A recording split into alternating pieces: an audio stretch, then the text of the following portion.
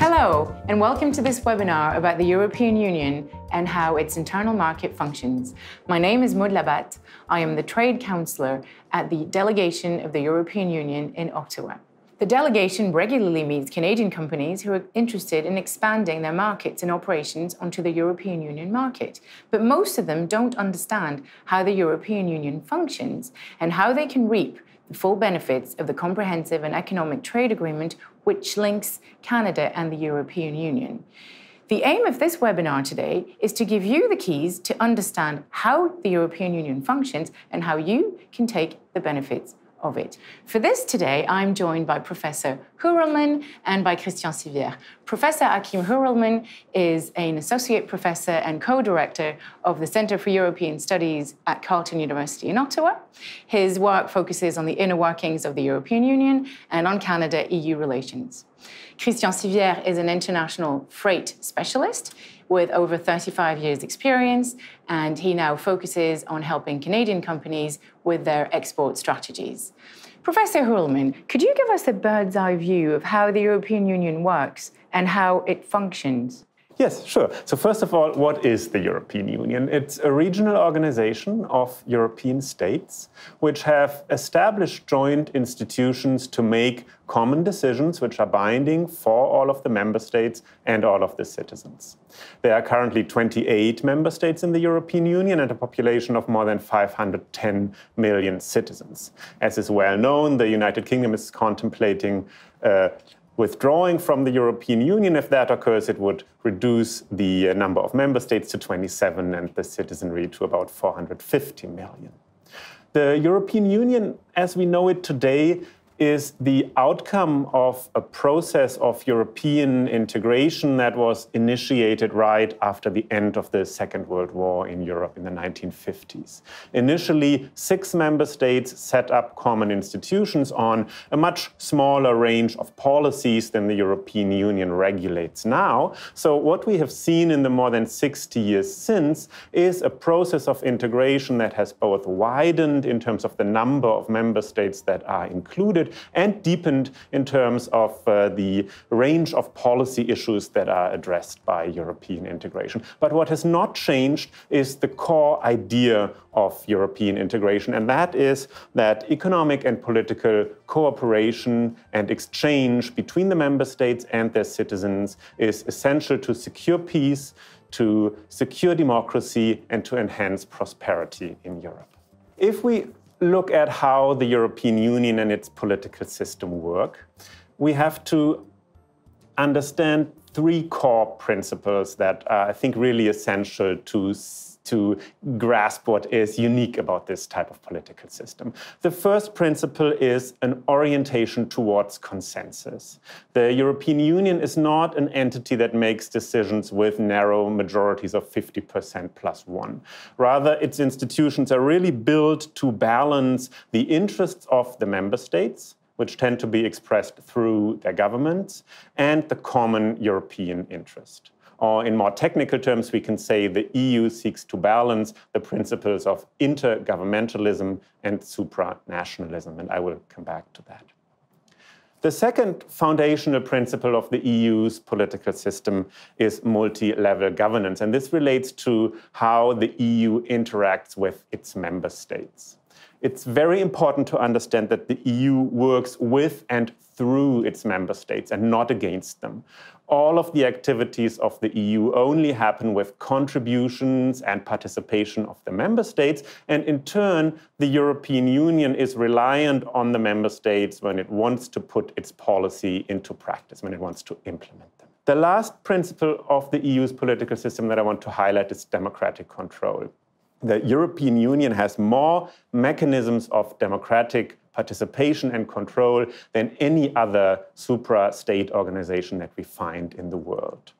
At the same time, the citizens still remain focused in their political participation, their interests and identities, mainly on the member states, and the European Union has to recognize that. It also has to recognize that there are a number of citizens in all member states which are very skeptical towards the idea of European integration. And the European Union has to acknowledge that and work with that. Professor Hurrelmann, can you tell us what the European institutions are? Yes, um, I want to highlight five main institutions here. And as we go through them, uh, everyone should think again about this um, balancing act between intergovernmentalism and supranationalism that I talked about earlier. The first institution that is noteworthy is the European Council. This is a regular summit style meeting of the leaders of the member states, the head of state or government of the member states. And its function is to set the agenda for European integration, to discuss the objectives for the EU's development and its policies and institutional development in the medium to long term. On the day-to-day level, the core institution that keeps the European Union running is the European Commission. This is the core supranational bureaucracy of the European Union, staffed by public servants who work in the European interest. So this is a supranational institution, and its role is to propose new legislation for the European Union and to make sure that the laws that are already there are adequately implemented and put into practice. When I say that the European Commission proposes new laws, that doesn't mean that it can make them on its own, but rather it makes these proposals to the two core legislative institutions of the European Union, which are the European Parliament and the Council of the European Union. And here we see again very nicely this balance between supranationalism and intergovernmentalism, uh, because the European Parliament represents the supranational principles. It is composed of parliamentarians, MEPs, members of the European Parliament, who are elected every five years in all of the member states, uh, whereas the Council of the European Union is made made up of ministers from the governments of the member states. And legislation in the EU proposed by the Commission will only be made in the end if both of these institutions, the European Parliament and the Council of the EU, can agree. So they can change the Commission proposal, and in the end, they have to agree for a bill to become EU law. The last institution that I want to mention here is the Court of Justice. It is the core judiciary institution in the EU, composed of judges who speak in the European interest, and their function is to interpret EU law and to adjudicate international conflicts. Let's look briefly at the policies of the EU.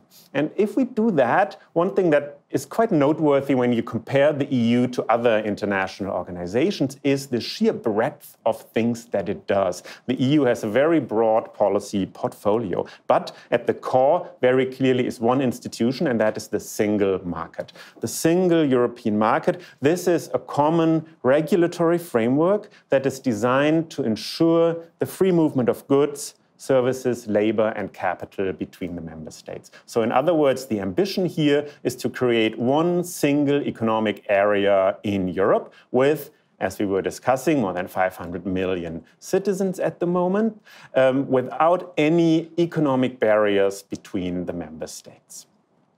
Other policies of the EU complement the single market. There are some that have primarily an internal focus, such as the single currency, the euro, which 19 member states currently have adopted, the EU's agricultural policy, territorial cohesion policy, policies on environment and climate change, and so on. These, these are just examples for a broad range of other policies. There are also EU policies uh, which primarily focus on uh, other countries, so these are external in nature. They include, most importantly, trade policy, which uh, is, of course, important in uh, the relationship between Canada and the EU, but also EU policies on foreign and security policy, on migration, development, and so on. And lastly, there's a group of policies which remain under the control of the member states, but the European Union is charged with coordinating uh, these policies to make sure that there are no negative externalities, that what the member states are doing is not negatively impacting on other member states, that there might be mutual learning from best practices and so on. Um, and this applies to areas such as the national government's budgets, employment, healthcare, pensions, employment, and so on. Can you tell us how this relates to what each individual EU member state does? Yes, I think the most important thing to understand is that the EU's legislative competence in most areas does not prevent the member states from acting in the same field. We are dealing here with what is called shared competence. The EU if you will, sets a framework. And that framework is binding. The member states have to respect it. But the, frame, uh, the framework does not exceed what can be done uh, in uh, this area of policy. The member states remain free to set policy within the EU's framework. And that is true for the great majority of EU powers, including the single market, which, as I discussed, is really the core of what the European Union does. There are a few areas where the EU possesses what is called exclusive legislative competency. Here, the member states have delegated their powers to the European Union. That is the exception, but there are some important exceptions, including trade policy or competition policy, where the EU acts for the member states. The member states retain very important powers in areas that the citizens care most about. Things like healthcare, pensions, social services, these remain largely under member state control, and the European Union has only relatively limited powers, in part also because these are very expensive policies and the EU's budget is not particularly large. And lastly, it is important to understand that the member states and their institutions are responsible for implementing most of the EU's policies. So when the citizens um, have to, uh, or when the citizens experience an EU policy, uh, mo in most cases, this will be because one of the member states' authority is implementing it and putting it into practice. The citizens rarely deal with EU bureaucrats directly, let alone with something like uh, an EU police or something, which does not exist. You've given our listeners a very comprehensive overview of how the European Union functions. Can you give us an overview of Canada EU relations? Yes, sure. So the European Union is a very important um, partner for Canada, both economically and politically. Uh, in economic relations, um, bilateral trade in goods alone is more than 100 billion Canadian dollars. So it's a sizable economic partner, and that, of course, as I mentioned, is goods trade only. There's services, investment, and so on, which is also substantial. All of this happens now under the CETA agreement, the Comprehensive Economic and Trade Agreement, which you mentioned at the beginning, which is applied since 2017 and which gives Canadian businesses and consumers preferential access to this large EU single market, the largest single market in the world with currently more than 500 million consumers. So that is um, an agreement which opens up a lot of doors for Canadian companies and uh, promises to further deepen the economic relationship. In addition, there are also very close political relations between Canada and the European Union. Canada and the EU are like minded partners in many multilateral organizations, such as the World Trade Organization, the United Nations, and so on, where they tend to work for the same objectives. But in addition to that, there's also a very dense network of bilateral relationships between Canada and the European Union uh, on a broad range of issues, and these are now structured through the Strategic Partnership Agreement between Canada and the EU, which also has been applied since 2017. Well, thank you very much, Professor Hurrelmann. I would now like to turn to Christian Sivière. Christian, we've just heard that there is a wealth of relations between the European Union and Canada. Now, in terms of what is interesting for companies. Could you tell us a little bit more how a company can navigate through the Comprehensive Economic and Trade Agreement, the CETA? Absolutely, and thank you for the invitation. And yes, indeed, um, this is a great trade agreement that we've had uh, and that has been in place since uh, September 21st, 2017. So I think the key is, of course, every trade agreement is, uh, has a lot of provisions. Uh, it can be a bit intimidating when you first uh, look into it. So let's, let's suffice it to say that it contains 30 chapters, uh, which is normal. This is um, approximately how many chapters trade agreements have, free trade agreements have. And so the key, I think, for Canadian companies is just to identify the ones that apply to them. And I think one way to do it would be to look at the goods uh, point of view, trading in goods. So you'll have these chapters, you'll have chapter two that will tell you right away about the tariff elimination schedule, for example, and that will also introduce in Chapter 5 uh, customs issues, rules of origin, etc. And then if you're in services, then identify the chapters that apply to that, and uh, particularly the mobility of professionals that is greatly um, facilitated. And uh, lastly, the third major piece, I would say, uh, that, that is uh, beneficial to both exporters of goods as well as uh, companies in services is the government procurement chapter and provisions in which you'll find all the relevant information as well as some of the exceptions that apply as well as the thresholds that are um, that have to be met. Uh, so a big agreement uh, that has a lot of provisions that's very beneficial. Uh, just take the time to look what uh, to look at what applies to you in terms of uh, exporters of goods or service providers. So where would the companies find the information about trade in goods, for example? Well, very easy. You look for in chapter two. You'll have the uh, you'll have right away the tariff elimin elimination schedule, and so what that does is that it tells you um, which items were um, at 0% immediately, and it also gives you the details of the products for which there was a phased-in elimination, tariff elimination. For, some, for most products, it was 0% immediately, whereas for some other products, it was phased in over three years, five years, seven years. And uh, for some other products um, in agriculture, seafood, cheese, there you have quotas, which means a quota means a limit that you cannot exceed. And so uh, once you've identified the um, areas that apply to you, it's actually very easy.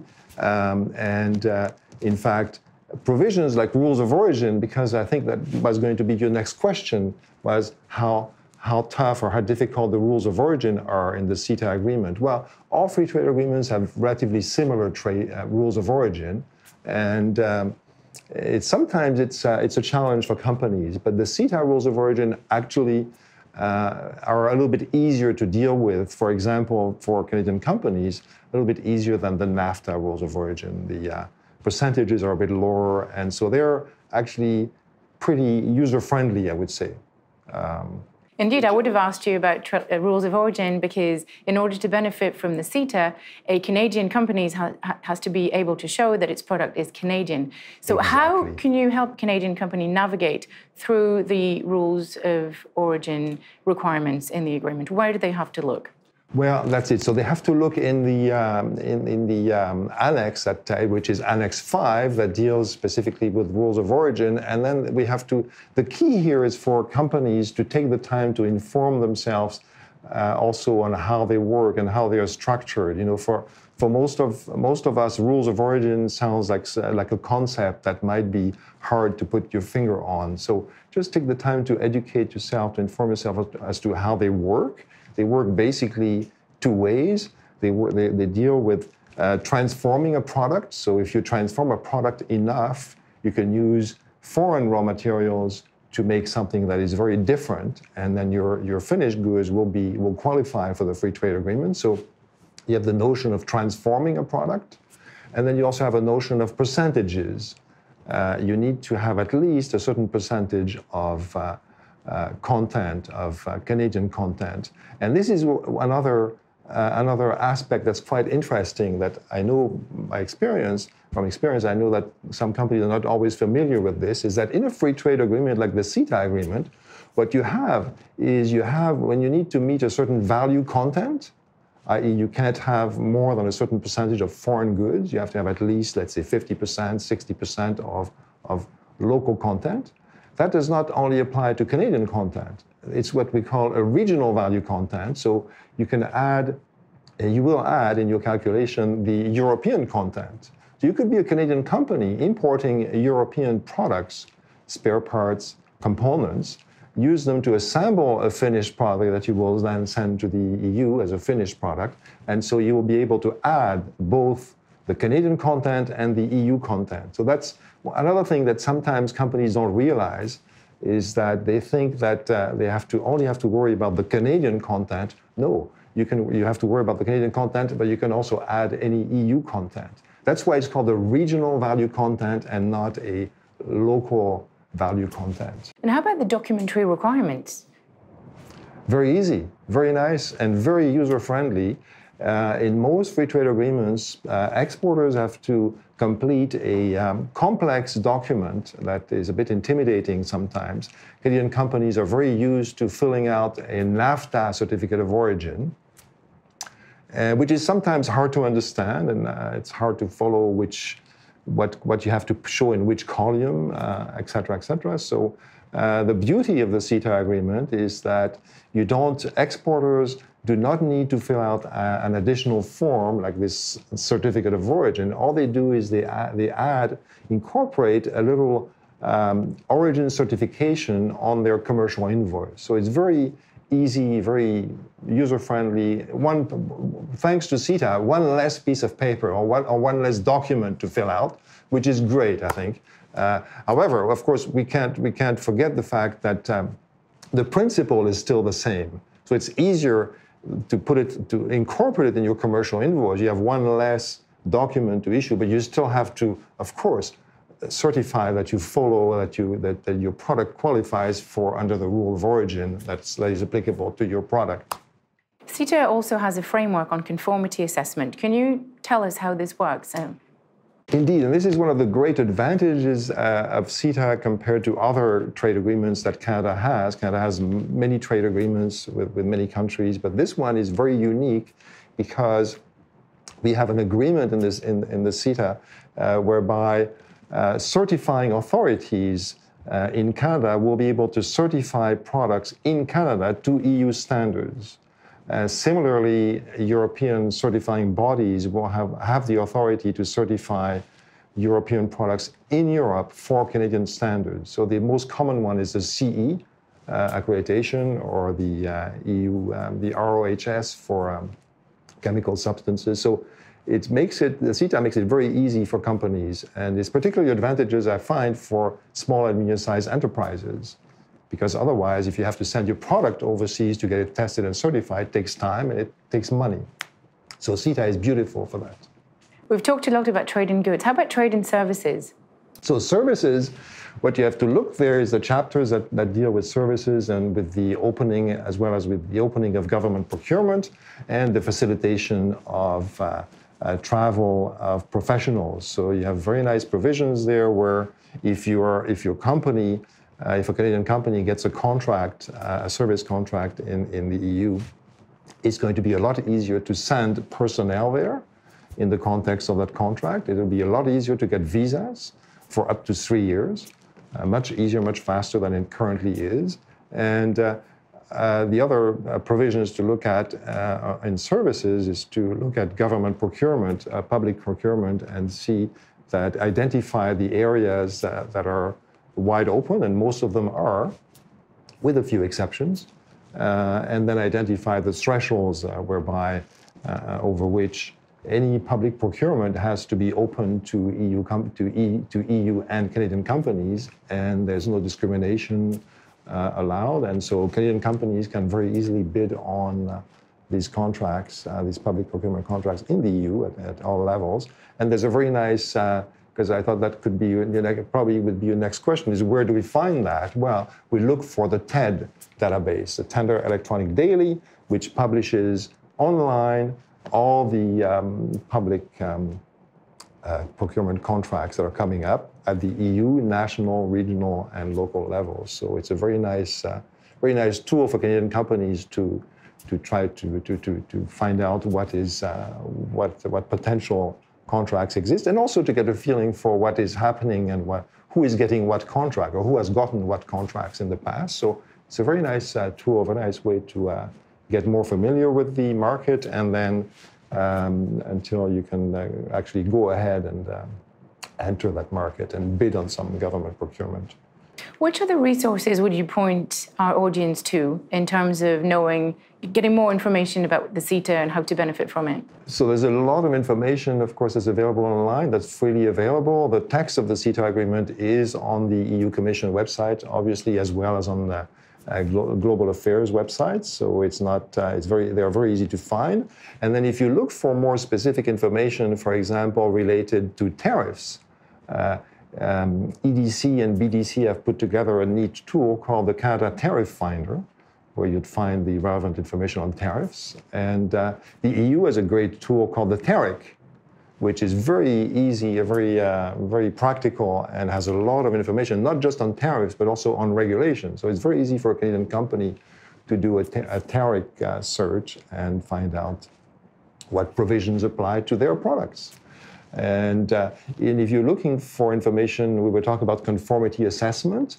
There, if you want to know where, which, which entities in Canada are uh, allowed to certify um, Canadian products for CE or e, similar EU standards, there it's the uh, stand, Canadian um, Council on uh, Standards that has this information. And uh, so they will be able, they have a searchable database where you'll be able to find that. And on the EU side, it's a similar process. It's the European Accreditation Office, which uh, uh, supplies that information. I believe it's based in Paris. Well, thank you very much. I'd like to thank both of you today for having joined us on this webinar, Professor Heuvelman, Christian Sivière. It is now the end of our webinar, but if you would like to hear more about the European Union or understand better how your company can reap the benefits of CETA or simply stay in touch with us, please follow us on Twitter and LinkedIn. You have the links that are popping up now, right now on the screen. Thank you very much and see you soon.